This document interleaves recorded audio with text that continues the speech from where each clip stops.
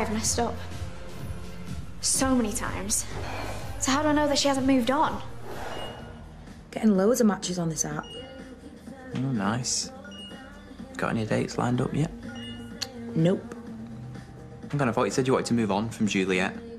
And I thought you said the same about James. Yeah, but Shower's broke. We fix it. call a plumber. Uh, no, we can't afford a plumber. And why don't you drag yourself away from daytime TV and do a bit of DIY? See? I haven't got time for online dating because I've got a shower to fix, apparently. No, that is a terrible excuse. And what's your excuse? For not going on a date with one of your several matches, Miss Popular. I'm sure Perry just wants to hear that you love her. Says the man who's too stubborn to tell Steve the same thing. This isn't about me and my gay drama. This is about Juliet and her sapphic yearnings. I'll always have a special place in my heart for Jules. I just never know where I stand with her. It's like you and James. And hey, at least I have a profile. You've not even downloaded the app. Stop trying to squirm out of things with your Uncle Steve.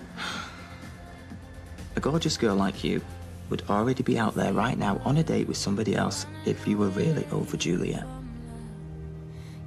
And you're not. Because you're still in love with her. Perry still loves you, so what are you going to do about it? Might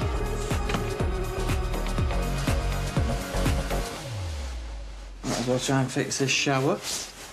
Even though I don't know what I'm doing, I'm probably going to flood the place. Sorry, mate. Uh, hello. Uh, who are you? This is Perry. I actually need to talk to you. Have you no shame?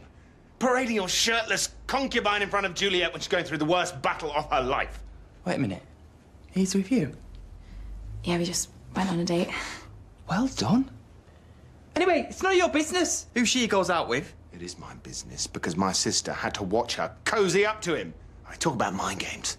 Juliet saw us. Oh, so what? Juliet has been messing with Penny's head for months. It must run in the family. I just want to stop my sister from being hurt again. Oh, really? Everyone just stop.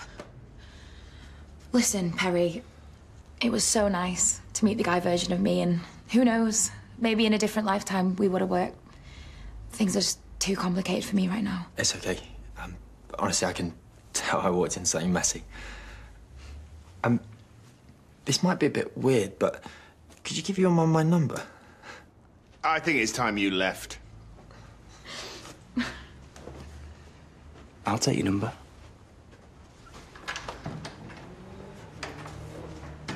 Are you two happy now? Fine. I'll admit it, I miss being with Juliet. Wait, you do? You don't actually have to answer that, Pez. In fact, why don't you keep your nosy beak out of our family business? Come on, stick it. Steve, please. I can't keep doing this. James, you're right. Juliet's fighting the hardest battle of her life, and the last thing she needs is mind games. And neither do I. When we were together, we were amazing, but we're just not meant to be. So I'm giving up on love.